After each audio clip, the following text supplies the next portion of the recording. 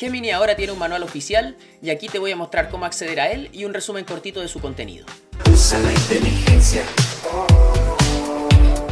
Desde este mes, Gemini cuenta con una guía oficial para aprender a usarlo publicada por Google, lo cual me parece una gran noticia, ya que recordemos que en este mismo canal anteriormente vimos que OpenAI se demoró alrededor de un año un poco más en publicar una guía oficial para usar ChatGPT y ni siquiera se trataba de un manual propiamente tal como el que sí hizo Google para Gemini.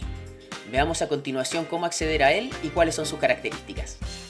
Para descargar la guía oficial de Gemini tienes que dirigirte a este link que es un poco largo, indecloud.withgoogle.com, etcétera, etcétera, pero en todo caso te dejo el link directo abajo en la descripción del video y una vez que hagas clic en ese link vas a llegar directo a esta página que te estoy mostrando donde para poder descargar aquí la guía oficial de Gemini vas a tener que llenar este cuadro con datos, ni siquiera con tus datos, sino que con datos X, que sean más o menos reconocibles, algún tipo de nombre, algún tipo de apellido, un mail que puede ni siquiera ser tu verdadero mail, da lo mismo el mail, mientras tenga una arroba y un punto algo, te van a permitir apretar submit acá y va a aparecer un botón para descargar la guía.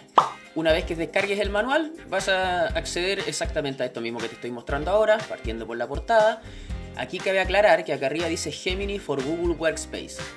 Em, porque viene enfatizado en cómo usar Gemini en los Google Docs, en el mail, etcétera, etcétera. Pero la verdad es que diría que, no sé, 95% del contenido de este manual sirve para todos los modelos de Gemini, para empezar, o todos los accesos y los productos de Gemini, como también para ChatGPT y otros modelos de inteligencia artificial similares. Em, eso hay que tenerlo claro. Y bueno, de aquí para adelante, este este manual, Prompting Guide 101, a Quick Start Handbook for Effective Prompts, como dice aquí abajito, bien clarito, abril de 2024. La edición, este es el primero que publican, es de abril de este año, está fresquito.